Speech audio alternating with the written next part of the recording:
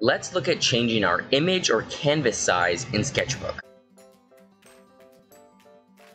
So this is going to help if you want some more space to draw on your canvas or if you're looking to export your images for high resolution prints. This is going to be very useful to know. So it's very easy. First thing you do is go up to image and you'll see two different options, image size and canvas size. Let's take a look at canvas size first. So we have our current size. It tells us the width, height, and memory that it takes up. And then these are the options to change to our new size. So you can change it to I, I, like to keep mine in pixels, but you can change it to basically anything you want. Don't really worry about this anchor point. I never really touch that.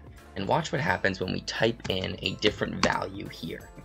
Right? Very handy if you just want a little bit more space to draw. So now watch what happens when we check image size. Now this is what I use most often because this option allows you to change the actual resolution of your images. For example, say I needed to bump up this resolution, I would change it to 300 and my canvas size gets this much bigger. So basically it's making your canvas bigger but keeping the quality the same and it just looks good when you print it. This works best when keep proportions and resample image are checked because this makes sure that when you change the size, your piece isn't going to be completely stretched at a weird angle or it's not going to be very pixely. It's basically going to look the exact same as it does now, just at a higher quality. Let me know in the comments if this was helpful or if you want to see me cover other topics. Thanks for watching. See everybody in the next video.